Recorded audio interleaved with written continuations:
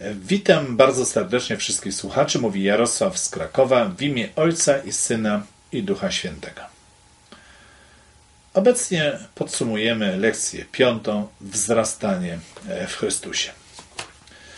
Tak jak poprzednia nasza lekcja mówiła o zbawieniu, o tym, że Bóg umiłował cały świat, wszystkich ludzi wszystkie upadłe istoty.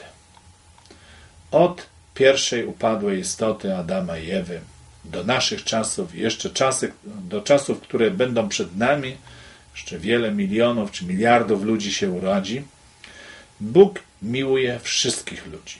Chce, aby wszyscy ludzie byli zbawieni. Dlatego wyciąga swoją rękę.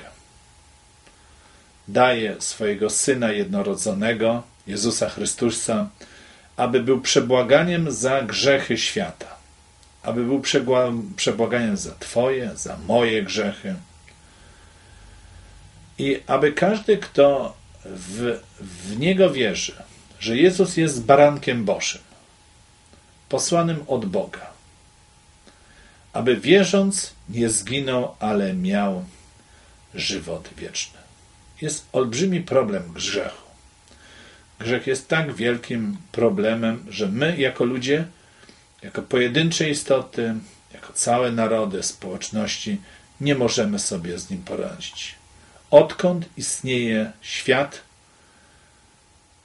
problem grzechu ciągle jest. I on, jakby nam się wydawało, ciągle wzrasta. Nie maleje, ale wzrasta. Było oczywiście w historii świata, momenty dramatyczne, że sam Bóg mówił, aż do nieba urosły te grzechy.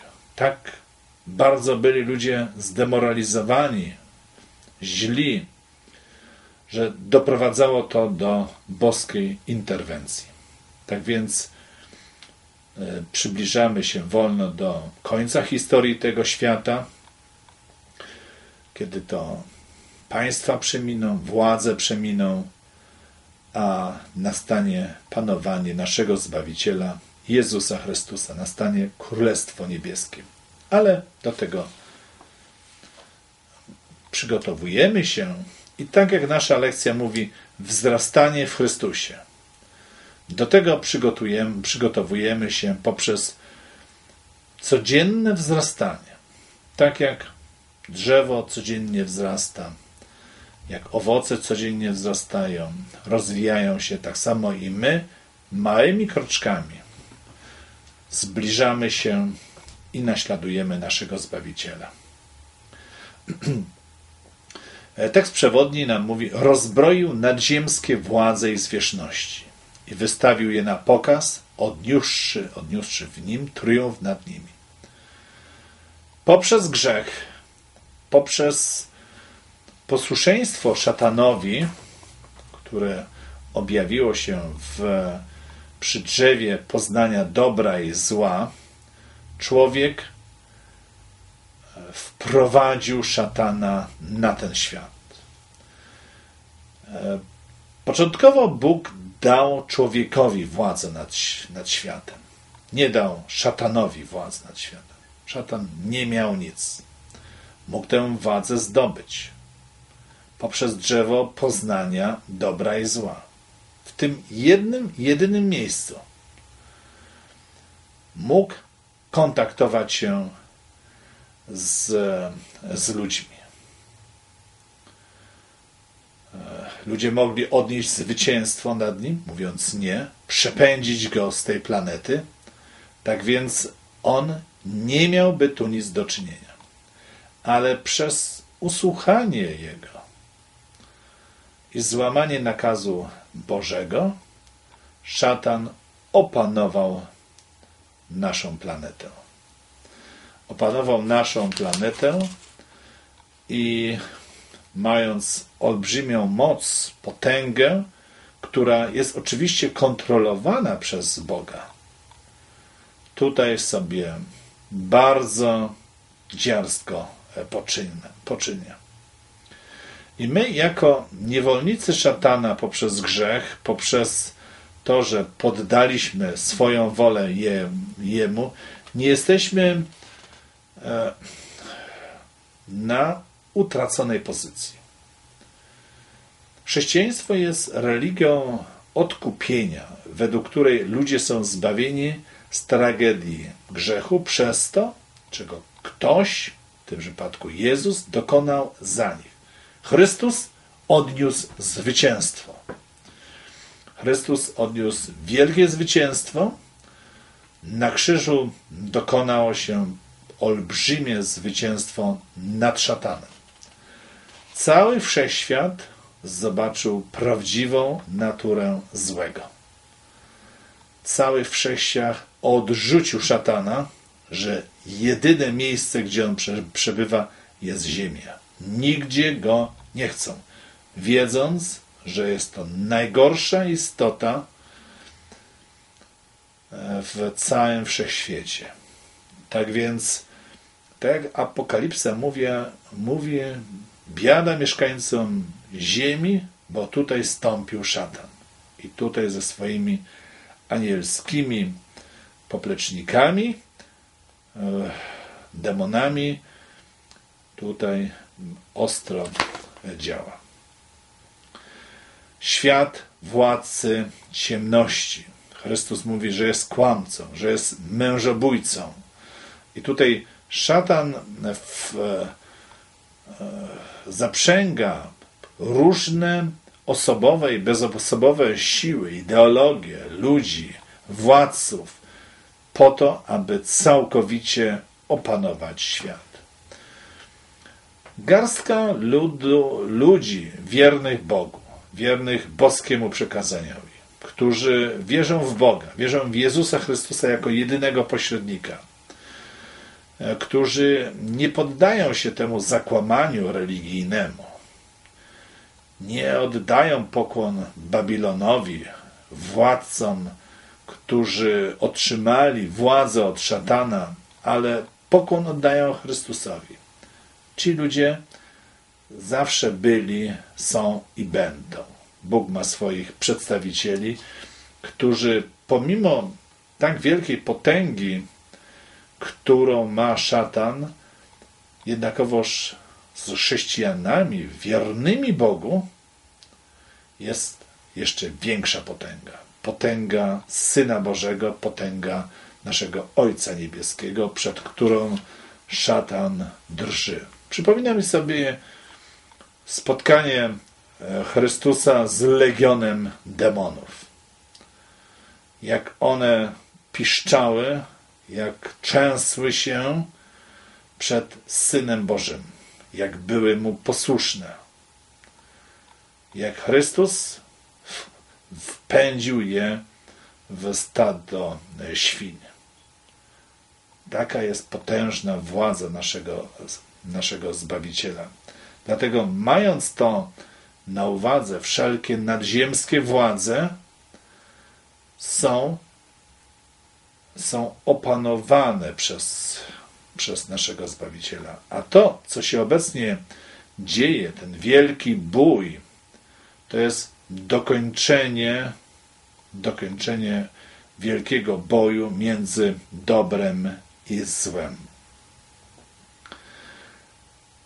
Szatanowi zostało bardzo mało czasu i on zdaje sobie z tego sprawę. Dlatego też zdwaja wszelkiego rodzaju wysiłki.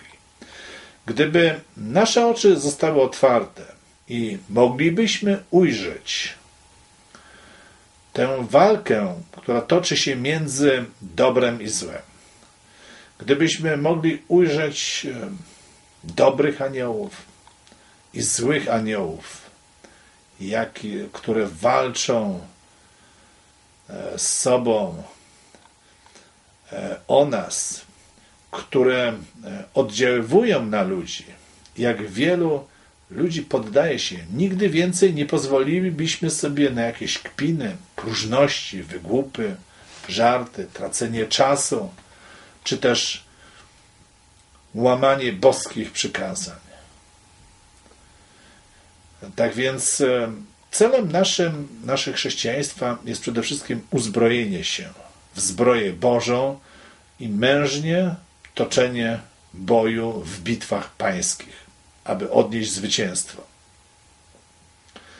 Wiemy doskonale sprawę z tego, jeżeli będziemy starali się żyć zgodnie z, z Bogiem, z Jego wolą, Jego przykazaniami, to nie unikniemy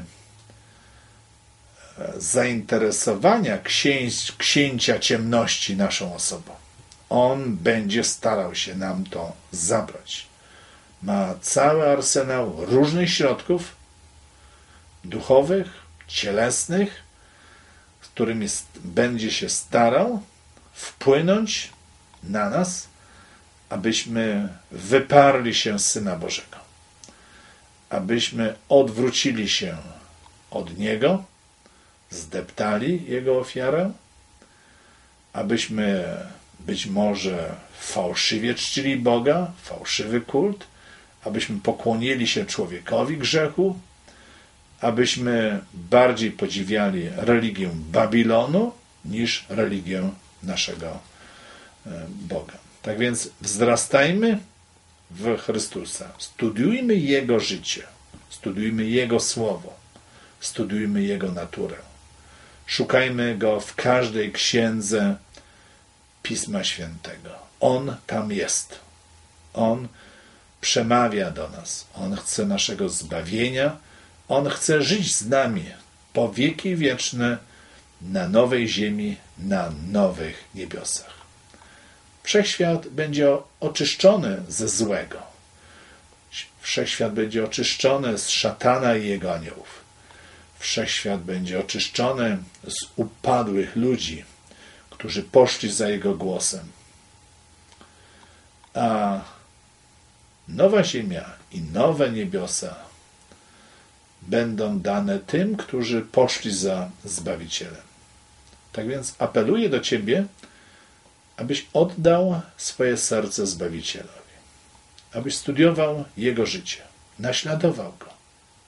Nie patrzył na innych ludzi. Oni Ci nie dadzą nic bardziej będą starali ci zabrać to. Pomyśl, co ci da Bóg, a co ci da człowiek. Bóg chce ci dać życie wieczne, zbawienie, niewyobrażalne bogactwo na nowej ziemi, niewyobrażalne piękno, wspaniałą pracę, która nie będzie pracą mozołu. Ludzie nie będą na nowej ziemi pracować tak jak tu. To będzie praca dla przyjemności. Tak jak Ewa i Adam w raju mieli strzec, doglądać ogrodu, i dopiero przez grzech praca stała się przekleństwem. Tak więc popatrzmy na to w ten sposób, módlmy się do naszego Ojca Niebieskiego, aby Duch Święty prowadził nas, abyśmy byli złączeni z Nim, bo jeżeli my będziemy złączeni z Chrystusem, który jest tą winoroślą, e, złączeni z krzewem winnym, będziemy trwali w Nim, to będziemy wzrastali. Od Niego uczmy się i bądźmy Jego dobrymi uczniami. Niech Pan Jezus Was wszystkich błogosławi. Amen. Dziękuję bardzo.